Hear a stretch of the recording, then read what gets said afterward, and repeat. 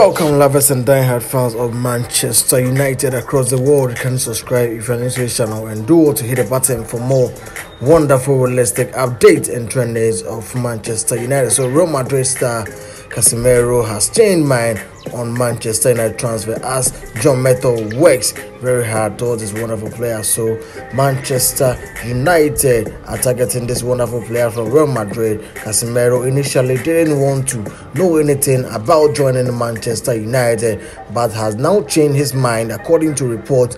John Murtough is working to deliver new signing for Erik ten Hag before the end of the month, and the Brazil international is now on the Red Devils radar at the time where Frenkie de Jong looks to stay at Barcelona. So Manchester United want a new midfielder to arrive before the transfer window shut on 1st September. So Pogba and the Magic Matic have left Old Trafford, whilst some other players like Fred, Donny van der Beek, and also James Garner don't appear very good enough to play at the highest level. United have failed in bid of signing Rabiot and de Jong, with the deal looking set to stay at Juventus and Barcelona, respectively.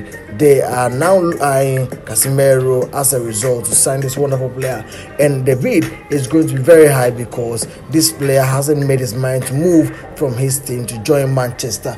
But according to an according to an internal reporter, this wonderful player will now change his mind to join Manchester United to play as John Murtough just worked really very hard towards the signing. So let's hope in the coming days going to give you all the updates of the changes that he has made if he's joining with a bid of what he has thought of and also the salary wages which is very high for Manchester United to be paid. But still we are going to try our possible best to get this wonderful update. So let's hope for the best for Manchester United which is signing this wonderful player Casemiro joining Manchester very soon. Thanks for watching